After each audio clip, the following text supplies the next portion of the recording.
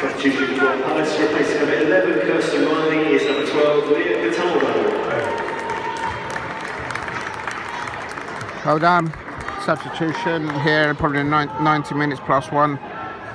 We had an injury to their goalkeeper, so really the five minutes extra time has just started. Just five minutes from now on.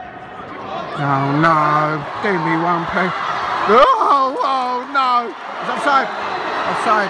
Ah, Come on, Palace, concentrate. Well, it's too late for that.